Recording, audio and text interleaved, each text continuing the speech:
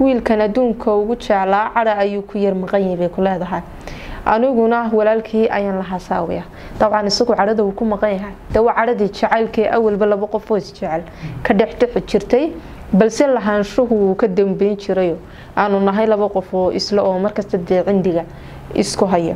Aniga oo xili barqaabay leedahay rabirow jikada ka soo baxaya ayaa waxaa iga horyimid wiilkii oo caagad sita oo u sii socda suuliga si uu ugu galo wejigaanu isku dhufanay qac iyo qac.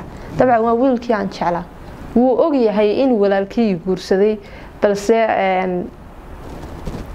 de jacaylkiibaa ka horeeyo meesha yaalla sheekadan aan gacanta ku hayaa waxay muddooyinkii u dambeeyey haysatay baraha bulshada ee lagu wada xidhiidho sheekadan waxaa qortay inan ka mid a hablaha soomaalida.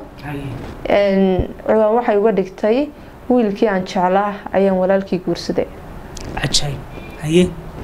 wiilkii ay isjeclaaya inay wada sheekaysan jireen ayay walaalkii guursateen waxay tiri waxaan deganay magaalo ka mid ah soomaaliya waxaan ahay gabadhi qurux iyo jamaal u dhalatay waxaan jeclaaday isaguna jeclaaday wiil aanan isagoo kale soomaali ku arag run ahaantii waxay tiri waxaan u jeclaa sida ugu weynee qof loo jeclaado ama qof rabitaan iyo waqti loo geliyo dabcan isaguna sidaas leeg buu ii jeclaabay tiri si yaroo fudud baa habeen habeenada ka mid ah.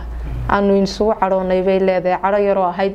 De cadhadii jacaylka dabcan intay dee labadii qof ay isku yar dhacaan. Haddana ila laba qof oo isjecel dacari carta ahayd hadhow toolana dee dabcan laysku soo yar noqonayay ma garanaysaa marka waxay tiri cadhada yare jacaylka ayaanu kala cadhoonay laakiin wax sii fog ma aanay ahayn dhowr maalmood ayaanu yar kala aamusnay bay tiri. Markii aanu kala aamusninba waxaa facebook aan isugu jirnay bay tiri mid ka mid ah walaaladii. Dabcan anu waan garanayaabay tiri inuu inankani de ninkan jecelay walaalkii inuu yahay. Balse wuxuun baan isiri iskala hadalo inankan bal iska baro dacaradii iyo mafudayd baa ii geeyey ma garanayo ma caruurnima ii geysay ma garanayo. Balse waxaa qadartu dhacday inay wiilkii sheeko isla halkii nagu dhex marto weliba xiriir aan la bilaabo anigoo walaalkii aanu isjecel lahay.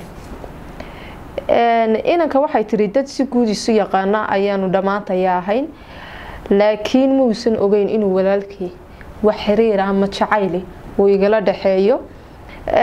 Balse wuxuun baan wada qaadnay markaa isla sheekadii iyo xiriirkii aanu isu bandhiganay weliba la soco aniga ayaa ku horeeyay bay leedahay inaan wiilkan la xiriiro.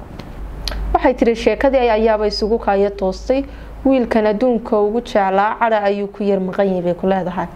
Aniguna walaalkii ayaan la hasaawaya dabcan isagu cadhada uu ku maqan yahay. De waa cadhadii jacaylkii awalba laba qof oo isjecel ka dhexdhexi jirtay balse lahaanshuhu wuu ka dambeyn jirayo. Aanu nahay laba qof oo isla oo markasta dee cindiga isku haya waxay tiri muddo ayaanu wiilkii wada soconay oo xiriirka iyaguu socday. Muddo kooban waxaabaanu go'aan ku gaarnay in aanu isguursano wiilkii aan walaalkii hore isu jeclahay. Ee dambe inaanu isguursanabaa dhacday. Walaalkii. Guur baanu ku heshiinay waanu isguursanay. Muddo yaroo kooban weliba anigu waan ogahay dabcan bay ku leedahay aan kugu soo celiya rabirow inuu wiilkani yahay wiilkii aan jeclaa walaalkii. Laakiin wiilka aan guursanayaa ma oga inaanu walaalkii isjeclayn waxaa la geeyay wiilkii gurigii hooyadii. Isla wiilkii aan jeclaana guriga. Qol ayuu ka degan yahay ah qol yaro kaarakoona oo xaggaa u sii jeeda oo inta badan halkaas ka sii baxa. Ismaanaan arag. Maalin maalmaha ka mid ah waxaa dhacday ninkii guursaday inuu shaqo tago wiilasha hooyadoodna magaalada ayay dukaan ku lahayd ayayna leedahay. Oo iyaduna way baxday. Keligee ayaa guriga ku soo haday aniga oo xili barqaabay leedahay rabirow jikada ka soo baxaya. Ayaa waxaa iga horyimid wiilkii oo caagad sita oo u sii socda suuliga si uu ugu galo. Wejigaanu isku dhufanay qac iyo qac dabcan waa wiilkii aan jeclaa. Wuu ogyahay in walaalkii guursaday balse jacaylkiibaa ka horeeyo meesha yaalla walow aan waxba markaa laga qaban karaynin. Aniga run ahaantii waa naxbay leedahay inanta kijadii baan dub ugu cararay. Wiilkiina intuu naxay oo uu shoogay. Ayuu caagadii dhulka ku dhuftay. Halkiibuu ka noqday. Qolkiisiibuu galay kabihiibuu ka xidhay wuu baxay. Waxay leedahay weliba guriga uun kamuu tegine. Magaalada dhan ayuu aniga dartay uga tegay oo wuu tahriibay. Maantana ah yurub ayuu joogaa. Qisadani waqtigii ay dhacday waxaa ka soo wareegtay muddo toban sano ah anigu toddoba caruuran dhalay bay leedahay. Sheekadan aniga isaga mooyaane cid kale oo og oo ilaahay abuurtay ma jirto. Xataa walaalkiisa aanu wada joogno muddada intaa leg ma oga. Soomaali ma oga. Aniga iyo isaga uun iyo ilaahay uunbaa og. Waxay tiri rabiilow sheekadan waxaa ugu cajiibsanay gabadhan leedahay anigana dabcan aada ii soo jiitay. Waxay tiri waxaan daqiiqad walba isweydiiyaa ma qadarbaa ma calafbaa ma khiyaama? Ma fudaydbaa su'aalahaas jawaabtooda waan ku daalay. Horta saamiye haddii aan u fiirsano wax walba qadarkunba ka adeega mararka qaar waxaad dheersantaad is leedahay waa iska fududunba hadhow cuslaada dabcan waxayna leedahay haddaan ku balbalaariyo ma qadar baayo de waa qadar. Mise waa khiyaamo anigu wiilkii aan khiyaamay ma fudayd baa ii geeyey inaan dee wiilkan guursado? Dabcan su'aalahaas bay ku leedahay. Kolley bulshada kalena ka soo jawaab doontaa laakiin shaksi ahaan waxaan u arkaa inuu calaf yahay. Inuu calaf yahay.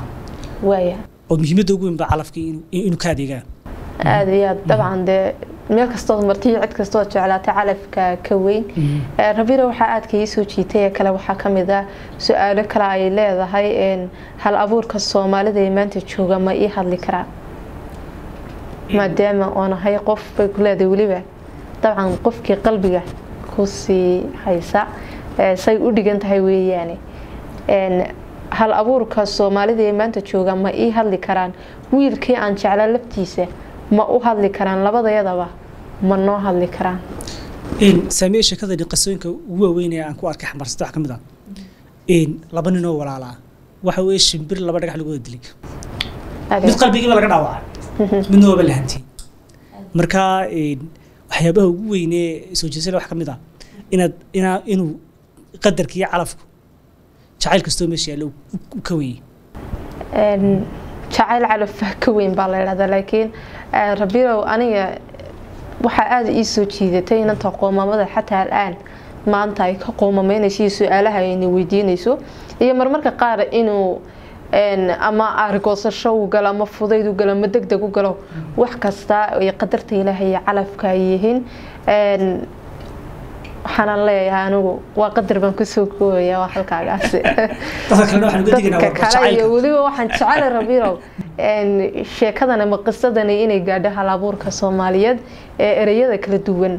Wax ku curiya. Sidoo kale waxaan jeclaan lahaa inay jawaab deg deg ah ay hesho mar kale ayaan idin leeyahay ama ay ka soo bixiyaan maadaama ay tahay sheeko. Maalmihii u dambeeyey baraha bulshada. Aada u haysatay weliba su'aalo isweydiin mudanna ay ku dhex jiraan. Intaasaan anigu ku dhaafaya dhankayga. Saamiye wax kale ku sii dari mayno jacaylkuna wuxuu yihi waa la yaqaanaa. Dadkaan aqoonina waxaan leenahay ku degdegina. Aada iyo aad. Tan iyo kulanti dambe ahe dhammaanta iyo dhammaantiin daawadayaal waxaan kaga tegaynaa waa anigu waa saamiye xasan ereg iyo walaalkay rabiir axmed diiriye tan iyo kulanti dambe asalaamu calaykum waraxmat ullaahi tacaala wabarakaatu